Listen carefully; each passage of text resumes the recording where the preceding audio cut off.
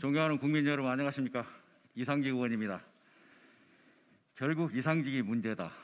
제가 창업한 이스타항공 문제로 지난 몇 달간 수도 없이 보고 들은 말입니다.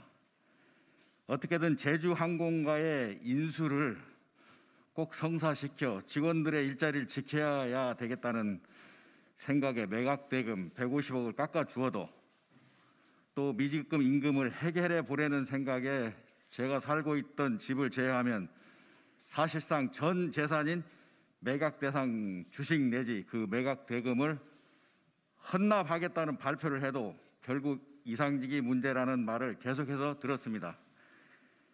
이 말을 들을 때마다 제가 무엇을 어떻게 해결해야 하나 스스로 수없이 생각해 왔습니다. 국민들에게 현직 국회의원의 부적절한 처신으로 보이지 않을까 노심초사하면서 이스타항공 문제 해결의 심화리를 쥐고 있는 많은 사람들을 끊임없이 만나 해결책을 구하고 또 도움을 청했습니다.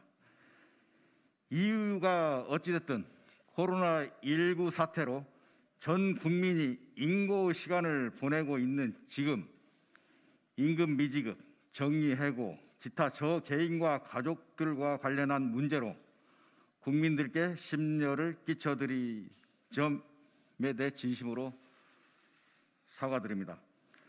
그리고 창업자로서 그리고 대주주 부모로서 현 상황의 무게와 이에 대한 제 책임을 동감합니다. 그 책임을 피할 생각 추호도 없으며 그렇게 행동해 오지도 않았습니다. 민주당 대표님이야 우리 당 선배 동료 의원님들과 당원 동기들에게도 제가 무거운 짐이 된 것 같아 참담하고 죄송한 마음뿐입니다. 선당 후사의 자세로 더 이상 선당 후사 자세로 당에 폐를 끼치지 않겠습니다. 잠시 당을 떠나 있겠습니다. 국민들과 당원 동지들 모두가 결국 이상직이 문제를 해결했다, 해결했다라고 할 수 있도록 사직생의 각오로 사직생의 각오로 이스타 항공과 그 직원들의 일자리를 되살려 놓겠습니다. 또 저에 관한 의혹을 성심성의껏 소명하겠습니다. 그리고 되돌아오 겠습니다. 국민들과 당원 동지 여러분의 눈높이에 걸맞는 정치인이자 공인으로 다시 서겠습니다.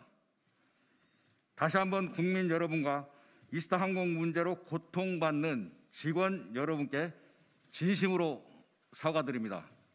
감사합니다.